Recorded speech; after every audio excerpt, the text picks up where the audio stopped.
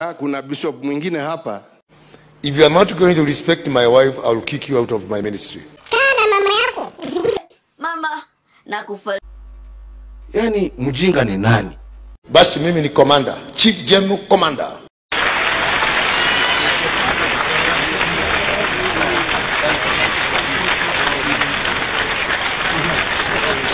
I've asked him to embrace.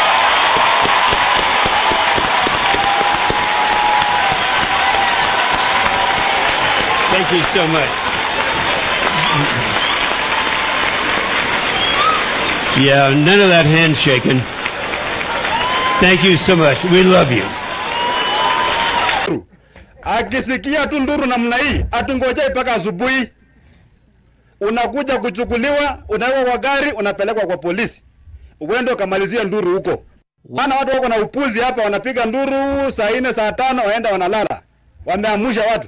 Ikifika saa nane saa tisa usiku, wanaanza nduru tena ya kuambia vijana atafanya nini, pigana.